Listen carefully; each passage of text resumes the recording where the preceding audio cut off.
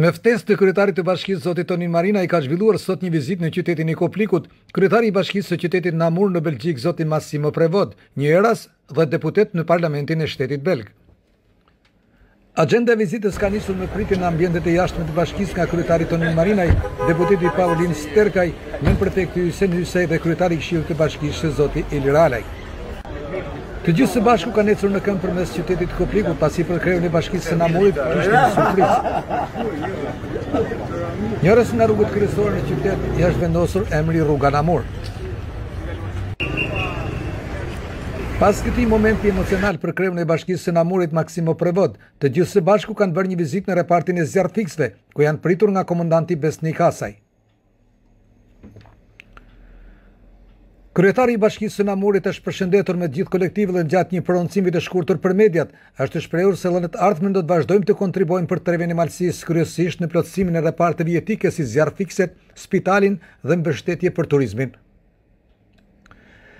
Për repartin e zjarrfikësve kreu i bashkisë dhe komuniteti i Namurit kanë dhuruar tri zjarrfikëse dhe një autoambulancë për spitalin e Koplikut. Do të sjellim dhe të tjera në të ardhmen, është shprehur miku nga Belgjika Maximo Prevot. Aktiviteti ka vazhduar me një vizitë të shkurtër në spitalin e Koplikut. Këtu kreu i Bashkisë së Namurit është zotuar se do të angazhohet me komunitetin vendas për plotësimin e spitalit me teknologji të re, bazë materiale dhe ambulanca të tjera për ta sjellë këtë shërbim në nivel më të lartë. Vizita ka vijuar në zyrën e Këshillit të Bashkisë, ku miku i veçantë nga Belgjika, kryetari i Bashkisë së Namurit, zoti Maximo Prevot, është shpallur qytetar nderi i Malësisë së Madhe me motivacionin. Qytetar nderi, zotit Maxime Prevot, kryetari i komunës Namur, Belgjikë, me motivacionin.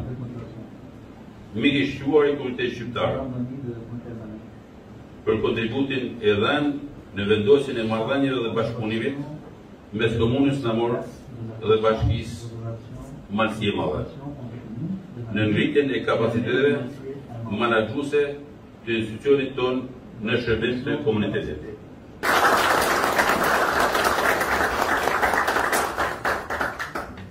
Prandaj unë nuk e konsideroj ma sot Kjo qytetar nderi e mori, po e konsiderojmë mik të shpisë tonë në Malësi të Madhe edhe mik të shpijave tona ku ne kena oxhakun.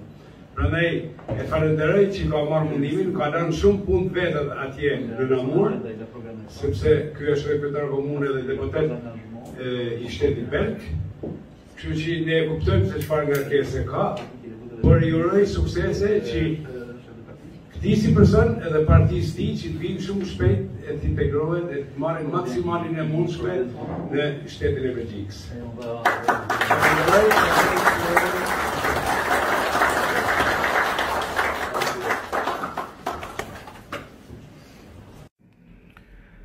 Kryetari i Bashkisë së Namurit është ndjerë mjaft i emocionuar për vlerësimin dhe ka falënderuar mikun e tij Marinaj dhe deputetin Pavlin Sterkaj, të cilit i ka premtuar se në Kuvendin belg do të ndërmarrin nisma ligjore për të ndihmuar trevën e Malësisë së Madhe.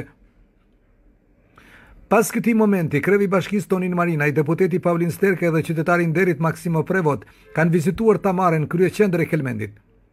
Vizitë për t'i treguar mikut belg bukuritë, peisazhin dhe traditat malësore të trevës, si dhe për ta nxitur që në të ardhmen të investohet në turizmin malor.